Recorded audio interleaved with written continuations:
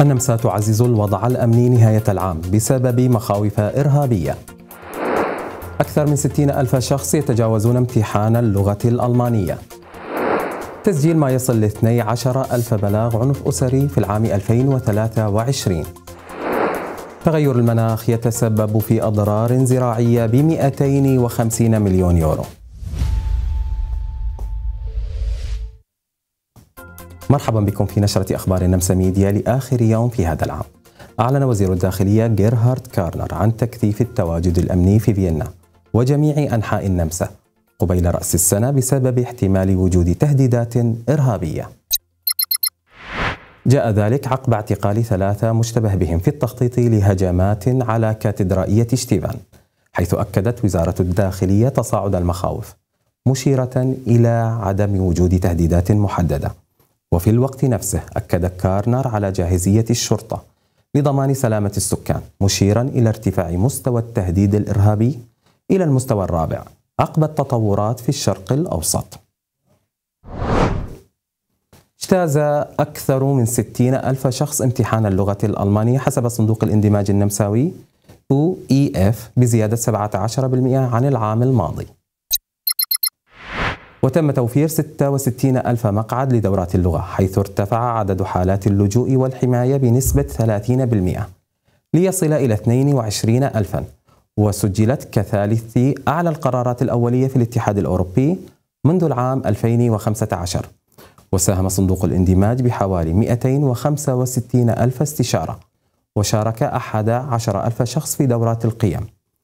وكان ثلثي المشاركين في دورات اللغة غير ملمين بالقراءة والكتابة.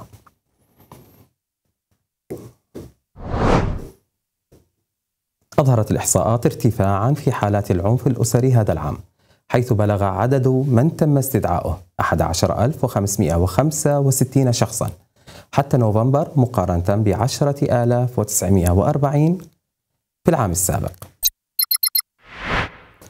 وأوضحت المحكمة الدستورية دستورية الاستشارة الإجبارية لمن يتعرض للعنف المنزلي مشيرة إلى زيادة حظر الدخول وتنظيم 225 مؤتمرا أمنيا هذا العام. وأكد المتحدث باسم الشرطة أن الأرقام تعكس تغييرا في الإبلاغ وتقديم المزيد من البلاغات ما يؤدي لتقليل حالات العنف وتعزيز الثقة في الشرطة مشيرا إلى أن 90% من المبلغ عنهم هم رجال. كشف تقرير شركة التأمين ضد البرد للعام 2023 عن ارتفاع كبير في أضرار الزراعة بسبب التغيرات المناخية حيث وصل إجمالي الضرر إلى 250 مليون يورو.